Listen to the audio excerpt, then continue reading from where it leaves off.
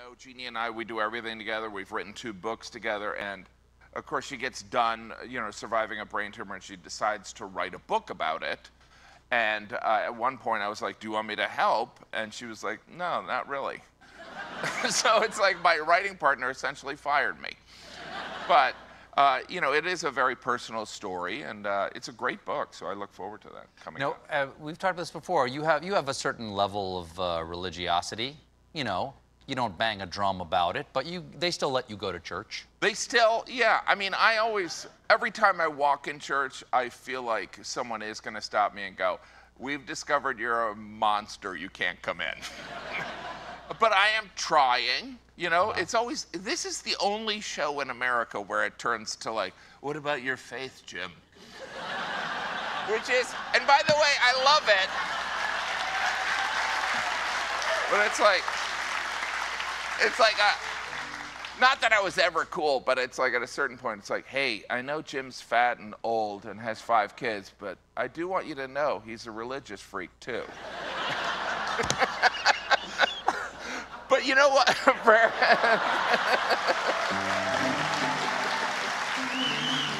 Well, I mean, th- I mean, I, it's wonderful that Jeannie is, is is okay. But I was wondering, did that change your view of God or your sense of religiosity or your, your approach to that when your wife, either you're, you're the woman you love most in the world, went through this harrowing ordeal? Well, are so many, uh, you know, there's individually, obviously, individually, my personal relationship with Jesus, which sounds crazy, but is, uh, you know, the, yeah, no, I found a lot of comfort in that. But I would also say that our community, the Catholic community, and even uh, most of our friends are atheists, and they were, you know, they would send messages like, "Hey, uh, I'm praying for Jeannie," and I didn't want to be like, "Hey, but you said you were an atheist." Do you know what I mean? So there was something. Uh, I'm praying to nothingness. yeah, there is something, the comfort of that community. Uh, you know, uh, our community was very supportive. And I would say that, but my wife is, I, you know, she's the spiritual leader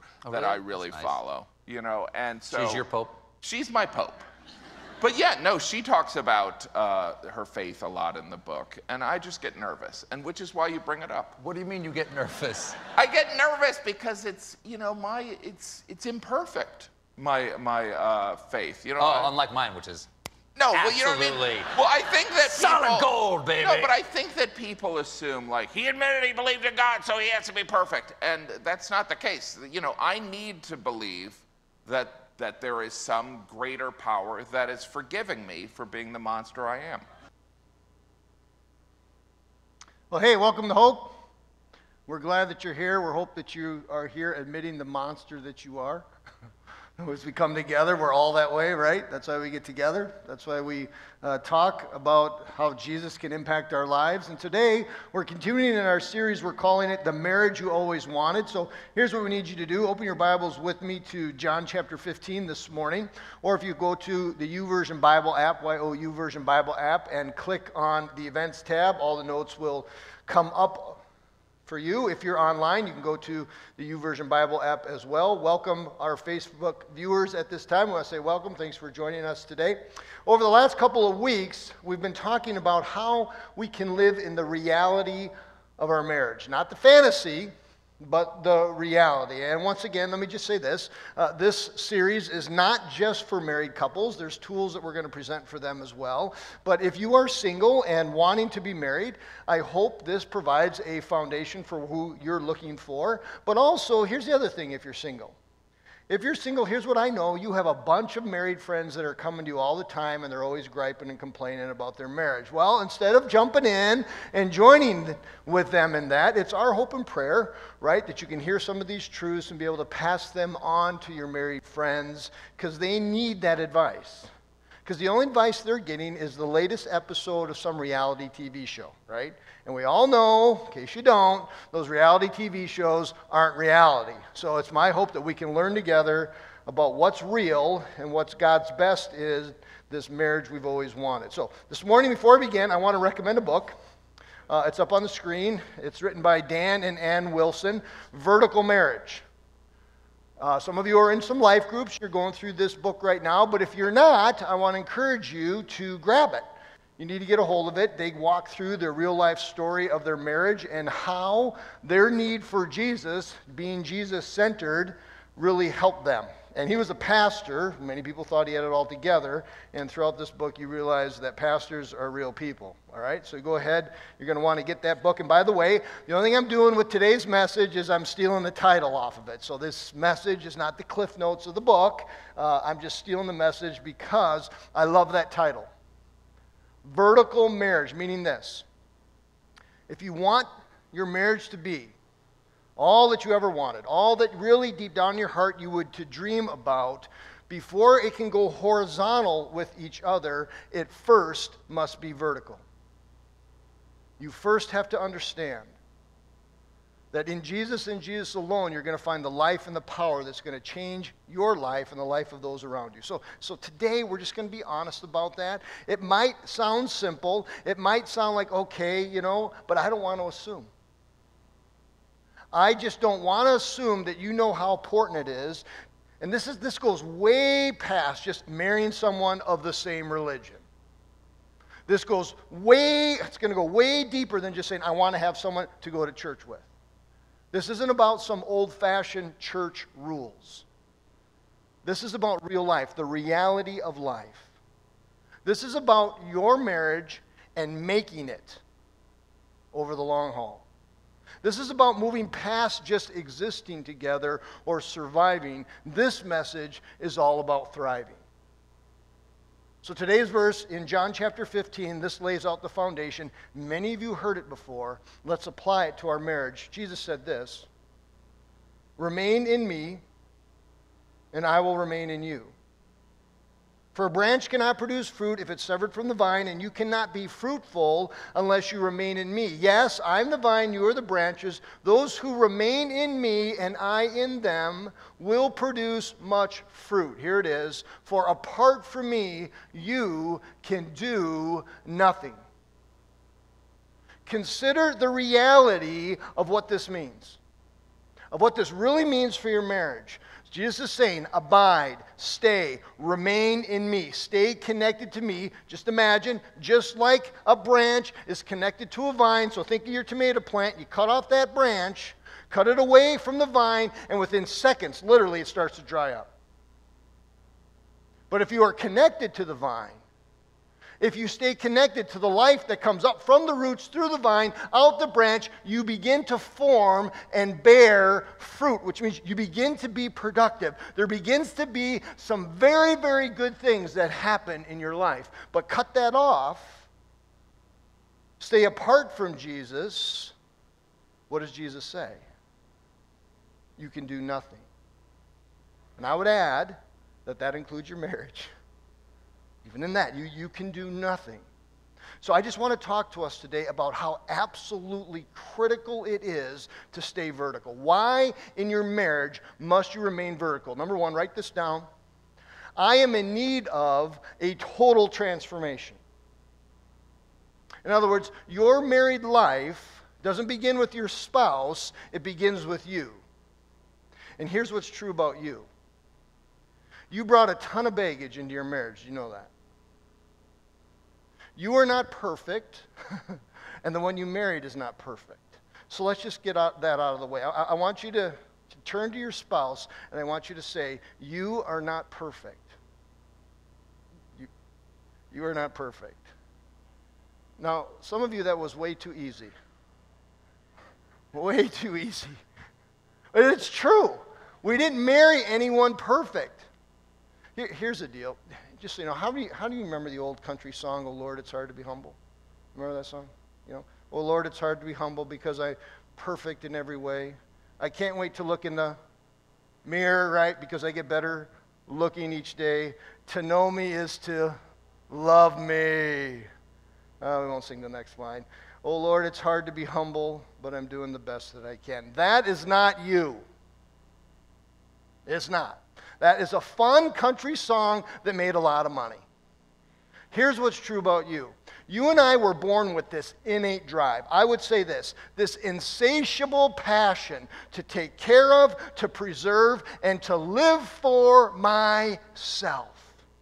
And what do we do? We feed it, we find pleasure for it, and we satisfy it at whatever cost. It's a drive that lives, it, it breathes within us, it controls us. But think about it. In a marriage, you can't have two people fulfilling that drive. And that's why you need to go vertical. God says in 2 Corinthians this either way, Christ's love you've said yes to Jesus, Christ's love controls us. Since we believe that Christ died for all, we also believe, if we believe Christ died for me, we also believe that we have all died to our old life. He died for everyone. Why did he die for everyone? So that those who receive his new life will no longer live for themselves. You have the power within you now because of Jesus not to live for yourselves. Instead, you'll live for Christ, who died and was raised for them. I just want you to see this. I know, if you've been around the church, you might say, Yeah, I know this, but do you really know it? Do you really see Jesus for who he is? That you need his life within you so that you no longer live for yourself. You begin to live for others. If you want to truly if you want to truly love your spouse, you must first press hard into Jesus to receive his life in you so that you don't longer are driven by that passion to live for yourself. God says this in Corinthians 5 this means that anyone who belongs to Christ has become a new person. Old life is gone, new life has begun. When you said yes to Jesus, Jesus pours in you his new life. But notice it doesn't say the new life is perfected or has been perfected. It says the new life, you're beginning to live out that new life. You're beginning to live out all that Jesus has done for you. You're beginning to live out that life he's put in you. Now, here's the deal. It's not just some magical transformation. Okay, I prayed the prayer, so now I'm super Christian. I'm perfect Christian. No, it's about the same mercy and grace that Jesus has given to save you now begins to change you. And Jesus promised us that He's going to give us some help with that. He's going to give us some power to do that. He's going to give us His Holy Spirit. And so here's what the Holy Spirit does in our lives, and here's why I would say you need to go vertical for change. Number one, you need the Holy Spirit to convict you. You need the Holy Spirit's conviction. And why is that so important? Because you and I experience conviction all the time in our lives. And sometimes it comes from the mouth of our spouse, doesn't it? You're doing this, or you're not doing that, or you should do this, or. and sometimes it comes from the mouth of our kids, especially when they get older and become teenagers. Oh, you're about this. Oh, you're. You know what? I'm just going to confess this in front of all of you. It's not my proudest moment. But I had my son say, Dad, whenever I get frustrated, I think about what you do, and then I do the opposite. yeah. Reality check conviction right there. But that's great and that's fine. But the problem is, is we begin to make excuses for all that stuff, don't we? Stuff that our wife says, that our kids say, and we can come up with, you know, we rationalize it away. Well, I had a hard day, work is really hard, blah, blah, blah, blah, blah, blah, blah, blah, blah. But let me tell you this when the Holy Spirit convicts you of something, when you spend time with Jesus and His Holy Spirit begins to speak about what's really going on in your heart, because we're not good at understanding what really goes on in our heart. When the Holy Spirit begins to show us that dark spot, when He begins to, to move into our lives and show us where He wants to bring healing, there's no arguing with the Holy Spirit. There's no fighting back. There's no saying, God, yeah, but. And here's the great thing when the Holy Spirit begins to convict you, it's not just this harsh thing, it's this encouraging thing. Because when you receive it from the Holy Spirit, it's not filled with shame, it's filled with hope.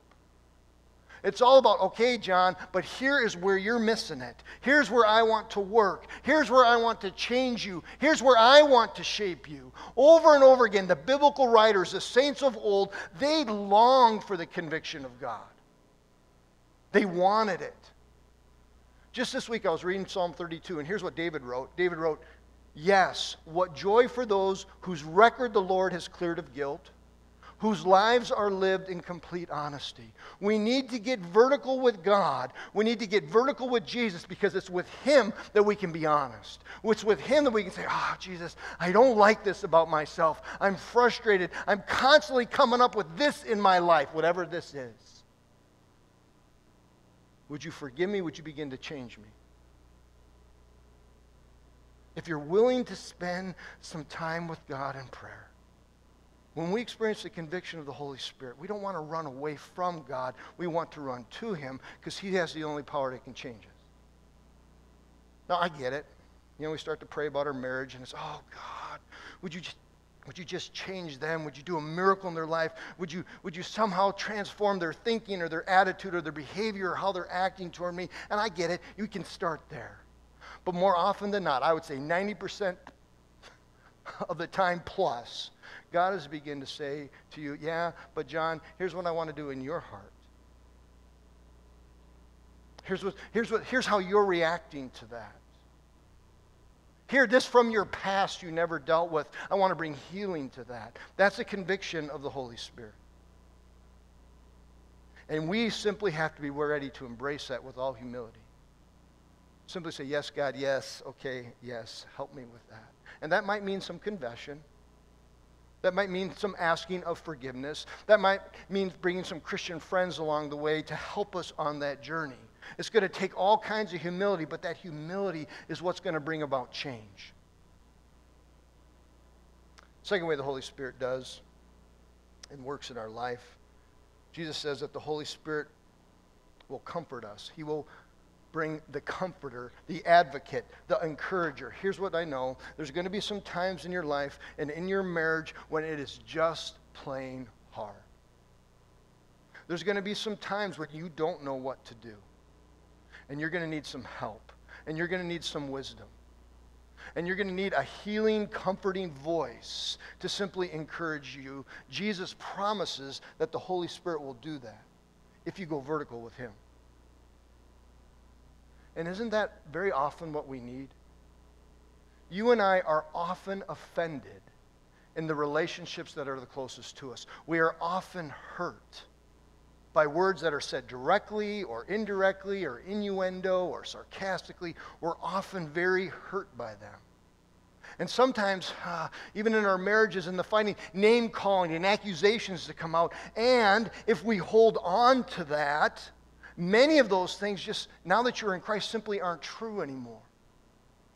And we need to get alone with God and go vertical so that we can begin to hear the words of Jesus. So we begin to hear who He says we are. So we begin to understand our new identity in Him. And that brings healing. That brings comfort. Because if we don't, we just get filled with bitterness, and that bitterness gets buried. And by the way, this, this being hurt and hurt feelings, this isn't just for the girls. Dave Wilson notes in his book that this actually ends up being more of an issue for the guys. Men often have their feelings hurt far more than the women because women are just better at processing their feelings. They can verbalize it, they can get it out, they can know what's going on. Men, they're hurt. What do we do as men? We shut down we just shut down. We don't know what's going on. We just don't like what we heard. We get hurt. And if we stuff that long enough, we wonder where's the anger coming from. You ever had that, guys? You blow up about something stupid, and it has nothing to do with that. It's because we're hurt. And we live in depression and anger. Why not go vertical with it? Why not begin to process some of that stuff with God? Why not be able to just simply say, if we can't say to our spouse, we can say to Jesus, Jesus, it sounds silly, but I was hurt by this. And allow Him to bring His comfort into our lives. Holy Spirit also, and this is a powerful, powerful verse, and I want you to hear it. The Holy Spirit will strengthen you. Because here's what I know some of you right now, ah, your marriages are right on the edge. And you need to go vertical with it. Just you and Jesus to receive his strength. Here's what Paul prays it's a powerful prayer found in Ephesians chapter 3. just close your eyes and listen to this. It's not in your notes, it's not on the screen. When I think of all of this, I fall to my knees and pray to the Father, the creator of everything in heaven and earth. So, the creator of the universe. So, I pray with all of those glorious, unlimited resources, I pray that He will empower you with inner strength through His Spirit. I pray for that because then Christ will make His home in His hearts in your hearts as you trust in Him. Your roots are going to go down into God's love. Hear that. As you're strengthened by power, your roots are going to go down into God's love. And then you may have an understanding, as all God's people should, about how wide, how long, how high, how deep His love is. And may you experience that love of Christ. People, that is what we need when we need to feel strengthened, we need to pray, God, would you give me strength? Because as I press into that, as I say, Holy Spirit, strengthen me, what's He going to do? He's going to strengthen me, but how? He's going to show me how much Jesus loves me. How wide, how deep, how long, the breadth of it.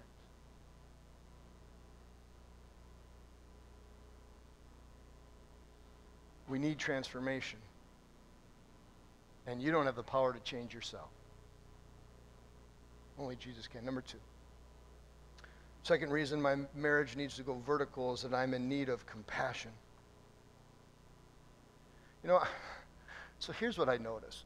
And, and my wife mentioned it. We were out to eat last night, and she said, you know, okay, you're preaching on marriage, which means, you know, there's always, it always gets a little rougher when you start preaching on things. And then what's more is, you know what the series I preached on before marriage?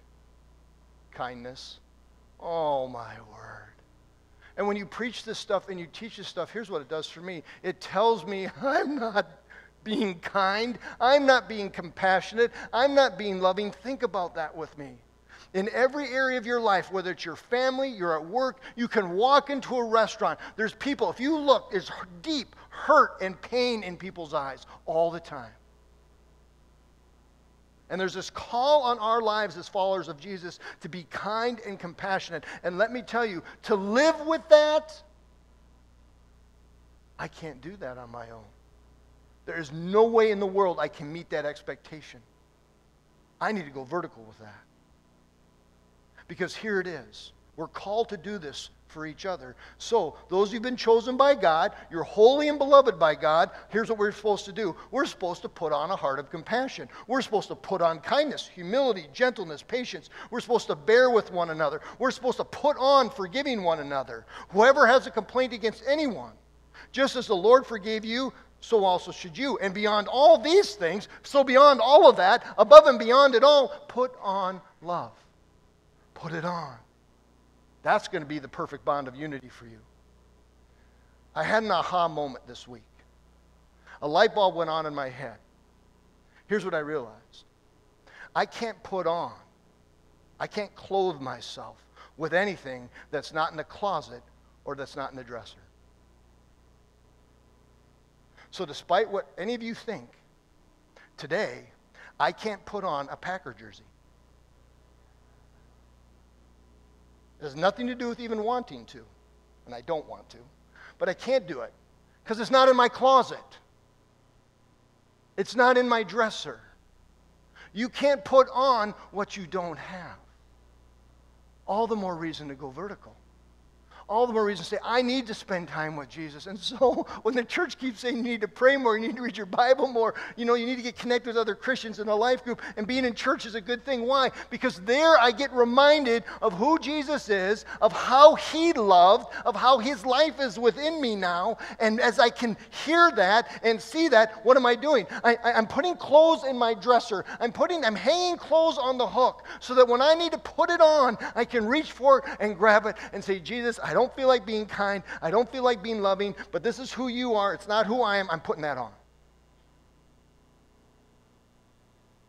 But you can't put on what you don't have. If we're not spending time getting to know Jesus, here's a promise in 1 John 3. We know what real love is because Jesus gave up his life for us. So if we're wondering, how in the world am I to love my spouse? How could I do that? It seems so hard. What is real love anyway? It's not just this fantasy land, it's not just romantic feelings. Here it is. I love how simple the Bible gets for us. This is what real love is. Jesus gave up his life for us. So here's the definition of real love. So we ought to give up our lives for each other. You see that definition? Love, and this is marital love. It means giving up your life for one another. And yet, do we come into marriage thinking that? Because usually, like we talked about, usually it's all about how this other person is going to somehow satisfy me or fulfill me. But Jesus' definition, God's definition, is that we have to give up our lives for someone else. So I hear this a lot, right? I hear this, oh, yeah, I just want to be married. Oh, it'd be so great if I could just fall in love and get married. So, according to Jesus, here's what you're saying Oh, yes, I just can't wait to die. Guys, you did real well by not saying a big amen to that. But seriously, according to Jesus' definition here, and this is not a negative dying at all, real love is all about giving up your life for someone else. So here it is whether you're young, whether you're old in marriage, this, here's what I think. We want this idea of marriage. We want this idea of, okay, falling in love. And then you know what? We're just going to have so much love between each other. Oh, yes. That we're going to want to have kids so we can share that love with them. All of that conversation that is all about death in a good way, in the truest sense. Dying to yourself and learning to give up your life for each other. Others I've, I've heard, you know, you, just want to get married because, oh, everyone else is getting married, everyone else is getting hooked up, and I just don't want to be the odd man out. I want to have that, oh, I just, I just want to have that special day. Well, let me tell you, that special day is four to six hours long, and then you die. Because then real love kicks in. Nothing wrong with having the special day. Don't get me here. Don't hear that wrong. Others of you are saying, oh, you know, I just want to get married because I'm lonely. And I get that, so I'm not going to make any jokes about that. That's a very, very real feeling that some of you are at right now. But let me just tell you this. Left to itself, you just you leave loneliness to yourself within yourself that turns into extreme neediness and you're looking for a love and compassion from another person that can only be found in God. And here, let me just tell you this if you're single, here's one of the best gifts that you can give to your, to your future spouse is to, the ability to actually be fine by yourself. A contentment that you're able to be alone. A rest and a peace because you've experienced something with God. You've gone vertical, and Jesus is meeting that need for loneliness in your very soul. Because as you go vertical with that, you're going to be so much more healthy to actually give up your life for somebody else. You see it? That's the reality. That's going to lead to a marriage that you've always wanted if you're doing that for each other. Now, when we hear these words, especially the guys, we hear Jesus' words, you must be willing to give up your life for your spouse. We get all noble about that, don't we? Well, yes. Just like the movies, I'd take a bullet. I would do that. I would take a bullet for my wife, right? You know what? I would jump in front of a rushing semi and push her out of the way, and I would take on the semi. Bring on the semi. And I believe that's true. And I'm absolutely certain here that you would. But that's not what Jesus is talking about. He's talking about your everyday life. He's talking about are you willing to give up? Maybe help around the house. Men and women both. What are we willing to sacrifice? To maybe, you know, the spouse is real busy in their career for a season to really come under and help so that they could succeed. Or maybe, you know, maybe it's about giving up a day or two in the deer stand because you got little kids and you need to be at home. That's a bullet. Maybe, Maybe you're in such a situation where life is that hard and difficult. And maybe one of your kids have a health issue or something's going on, and you have to give up the whole deer season. Okay, that's a machine gun. Yeah, someone just got hit right now. That's what it means. Are we willing to sacrifice our time, our energy, our resources, give up of ourselves to love the other person? Maybe it means, you know, creating a date night. Maybe it means, hey, you know, I know we got this issue that's going on in our marriage, so we're going to give up some of our vacation money and we're going to go to counseling around it. And here's what I know when it comes to that kind of giving up your life, those sacrifices are extremely hard. So much easier to preach for me than to live out. Go vertical. Go vertical with it. Jesus, I'm having a hard time giving this up. I'm having a hard time sacrificing. I'm having a hard time meeting these expectations, whatever they are. So I'm coming to you I'm asking you. You gave your life up for me. You're asking me to give up my life for those around me, to show them that I love them. I need your help because my commitment is weak. My ability to sacrifice is lazy. That's why you have to go vertical. Number three, I need Jesus to bring about reconciliation. You've heard the verse, we love each other because he loved us first. So, this is Jesus' whole ministry, right? Jesus came down to this earth to restore people to have a right relationship with God. And as we said yes to Jesus, our relationship, He has reconciled us back to God. Well, here's what happens there's some overflow from that in our lives. Jesus gives us a ministry of reconciliation to help other people come to know Jesus. And as His life begins poured into each one of us, that ministry of reconciliation can cross over. It can happen in each other's lives. And here's what some couples need to do. Yep, okay. You've been in a very, very hard road, like on the edge road. And you need to say, okay, I'm going to press into Jesus, and, and you're going to press into Jesus, and Jesus is about a ministry of reconciliation. So, okay, Jesus, we're going to rest and we're going to trust that you're going to work. Now, I'm not saying it's not gonna, you're not going to have to do some work. Yep, you're going to have to learn some communication stuff. You're going to have to learn conflict resolution. You're going to, perhaps money is your big issue. Whatever that is, you're going to have to learn that. But before you do any of that, you have to realize that Jesus is about his ministry of reconciliation. And he doesn't want there to be discord. He doesn't want there to be strife. He doesn't want the two of you separated. He wants you reconciled.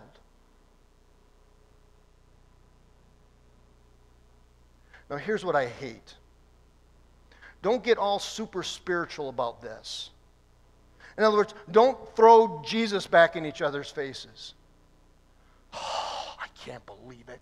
I'm praying every day. I'm memorizing all these verses. Look, I bought this book. I'm reading all these books on marriage, and you can't even pick your Bible up. I bet you don't even love Jesus at all. I hate that. That borders line on spiritual abuse. Real love is not filled with Christian lists or Christian cliches. It's not about quoting scripture or quoting spiritual rules to each other. Here it is in Romans 12. Don't just pretend to love others, really love them. Hate what is wrong, hold tightly to what is good. Here it is. Love each other with genuine affection and take delight in honoring each other. It's all about honor, it's all about lifting the other person up. Reconciliation happens when we say, okay, you are more important, your interests are more important, and I'm going to honor you. Don't honor sin. I'm not telling you to do that, but you can honor the person as being created in the image of God. Reconciliation is going to require work, but first go vertical with it. Here's a verse of hope for you today Romans 15. May God, who gives this patience and encouragement, do you hear that? God who gives patience and encouragement. I want you to turn to your spouse right now and say, oh, I need patience and encouragement. Go ahead. I need patience and encouragement. don't expect to get it from the spouse. It says God will give it to you.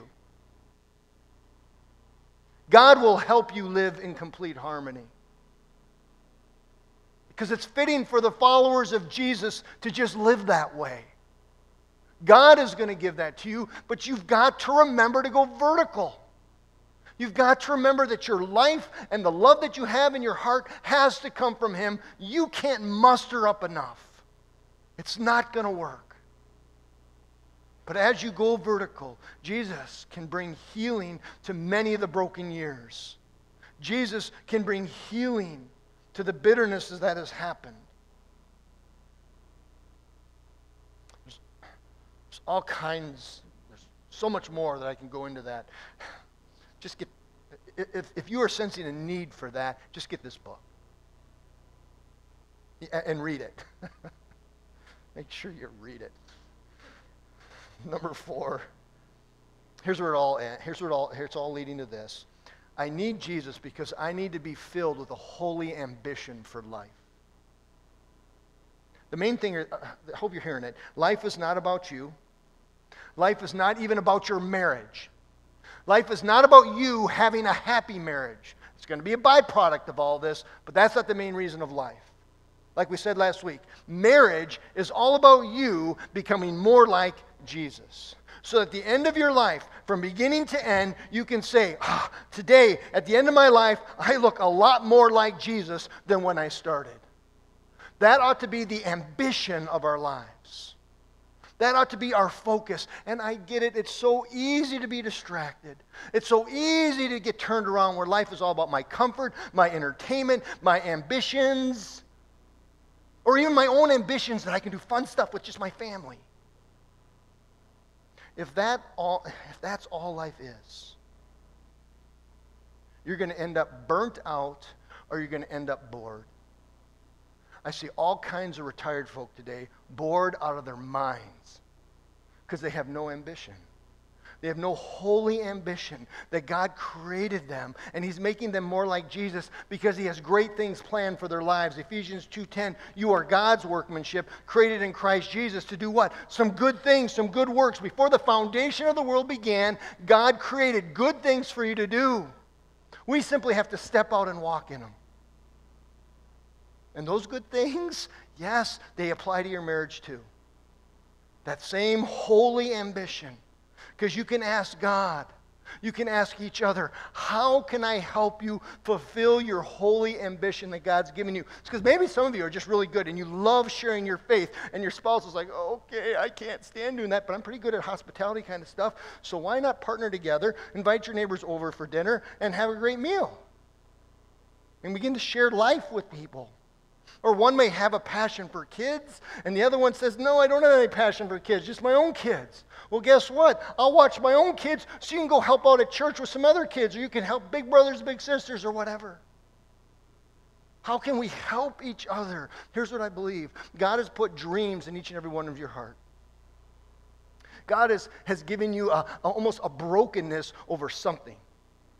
Something that exists in the world today. You're broken about it, it, it unnerves you to be able to share that with your spouse and then help each other in those holy ambitions.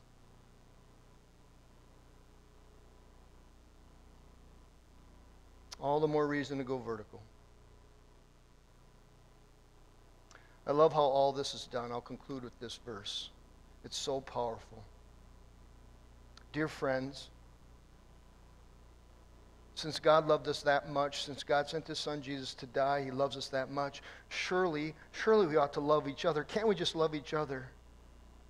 Now, no one has ever seen God. So, in all of his glory, none of you, I guarantee you, last night saw God, all right? But if we love each other, here it is. None of you ever really see God. But if you love each other, His love is brought to full expression in us. So, in other words, you will never experience the love of God. And, in the, in the capacity that God wants you to experience it. I don't care how many quiet times you have. I don't care how much you love to be in your deer stand watching the sunrise, feeling God's love. You will come up short unless you're experiencing that love from another believer. You will come up short. You will never experience the mercy and the forgiveness of God until you've experienced the mercy and forgiveness of your spouse. Until you experience the mercy and forgiveness of your children. Until you experience the compassion of a Christian friend. As you share a problem with them, and all of a sudden God puts the weight of your problem on their heart, and they begin weeping with you, and they put their arm around you and pray for you. That's an expression of the fullness of the love of God, and you'll never get that until you're willing to share that with somebody else. Are you seeing this? So, in your married lives, here's what needs to happen. God, as you go vertical, is filling you with love so that you can express that love to your spouse and be Jesus. And they will never experience the fullness of God's love unless you're willing to show it to them. That ought to blow our minds away. God would use us monsters who are in need of forgiveness to show his love in that kind of way. All I know is I hear that and I'm like, okay, God, that's well beyond me. I need to go vertical. Jesus, somehow give me your life, give me your love, so I can share that with those who are closest to me. Help me, please. This morning, uh, in this time of communion, as we enter into sharing communion here, it's going to be a time like we usually do. There's going to be worship. I hope there's prayer. We're creating space here for you to go vertical, right? So here's my encouragement. If you're new here, by the way, and you've trusted in Jesus, communion is open to you. You simply come on up, you take the bread, you take the cup, you go back to your seat, and when you're ready, you participate and partake. So if you're here today with your spouse, I get it. Some of you are in some really rough places. And sometimes we ask, you know, couples pray together and you look around and everyone else is praying together and you're not. Ah, that's okay. But could you just say a one sentence prayer together? Could you just say, Jesus, help us? That's it. Jesus, help us. Would you help us? And then get alone with God and, and go vertical. Don't just rush through this time. Don't just watch everyone else. But around all these things, say, Jesus, what do you want to do in my life?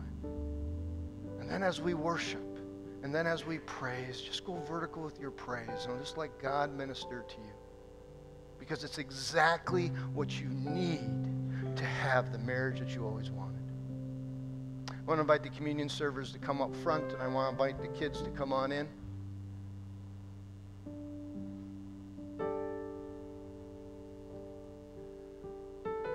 Read this prayer once again to you. Today we pray that from His glorious, unlimited resources, He would empower you with inner strength through His Spirit. Because then Christ will make His home in your hearts as you trust in Him, and your roots will grow down into God's love and keep you strong. And you may have the power to really understand, as all God's people should, how wide, how long, how high, and how deep his love is. Jesus, we pray right now. I pray for each and every one that we could discover in this moment, that we could go vertical in this moment, to be strengthened by your power so we can know how much you love us. Jesus, you died for us, you gave your life for us. Help us to take those words in our head, move them down to our heart during this time, I pray.